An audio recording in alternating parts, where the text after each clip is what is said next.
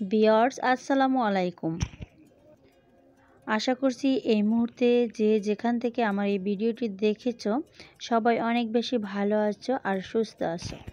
আর সবার সুস্থতা কামনা করে শুরু করেছি পিঠাপুলির নতুন আয়োজনে আরেকটি অন্যরকম পিঠা, যেটি হচ্ছে চিতই পিঠা। আজ আমি তোমাদের তৈরি করে দেখাবো ঝাল চিতই পিঠা। শীতের সকালে কিংবা বিকালের নাস্তায় চিতই পিঠা সবারই খুবই পছন্দ। তার সাথে যদি হয় ঝাল চিতই পিঠা তাহলে তো কথাই নেই। খেতে কিন্তু ভীষণ মজা এই ঝাল চিতই পিঠা আর তৈরি করা একদমই সহজ, কম উপকরণে ঝটপট তৈরি করা যায়।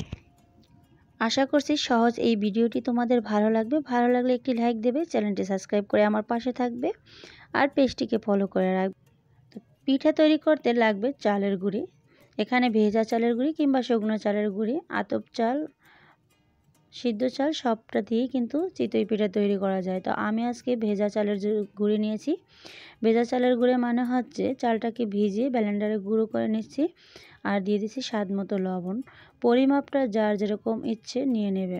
আর নিয়ে নিছি কুসুম কুসুম গরম পানি মানে হালকা একটু ধোয়া ওঠা, যেন বাবলস উঠবে ওরকম গরম পানি দিয়ে প্রথমে ডোটাকে অল্প অল্প পানি দিয়ে মাখিয়ে নিতে হবে।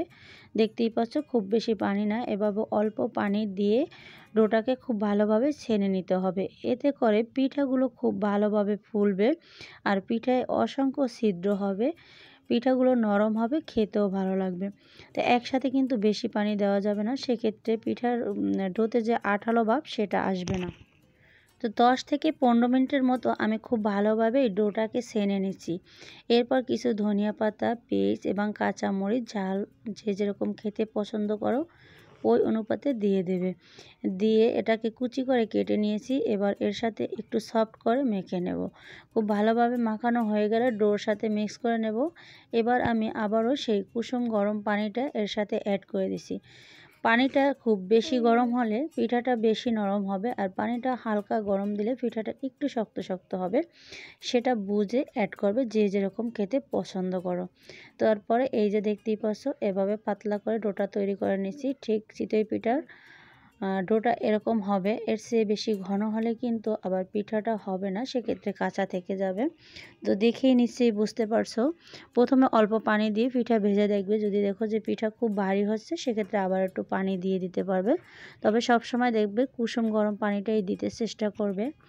তো আমি এখানে মাটির পাতিল নিচে দেখতেই পাচ্ছ। এই পাতিলে পিঠা বানালেও ভালো হয়। তবে আমি আজকে লোহার কড়াইতে বানাবো। এই কড়াইতে পিঠা ভাজতে আমার কাছে ভীষণ ভালো লাগে আর একসাথে অনেকগুলো পিঠা হয়, দেখতেও খুব সুন্দর হয়।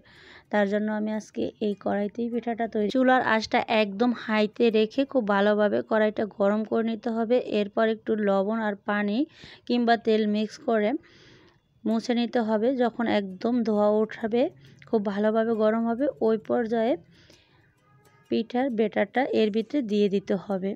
দিয়ে দেখতেই পাচ্ছ, এভাবে দিতে হবে, খুব বেশি ভরে ভরে দিতে হবে না, তারপর ডাকনা দিয়ে ঢেকে দিতে হবে। দুই মিনিট অপেক্ষা করতে হবে, খুব ভালোভাবে ডাকনাটা যেন সেট হয়, সেটা লক্ষ্য করতে হবে এবং চুলার আঁচটা একদম হাইতে রাখতে হবে। লক্ষ্য রাখবে ডাকনার সাইড থেকে দেখবে ধোয়া উঠবে, তখন বুঝতে হবে যে পিঠাটা হয়ে গিয়েছে। তো দেখতেই পাচ্ছ, পিঠাটা আমার খুব ভালোভাবে ফুলছে, এবার পিঠাটা তুলে নেব।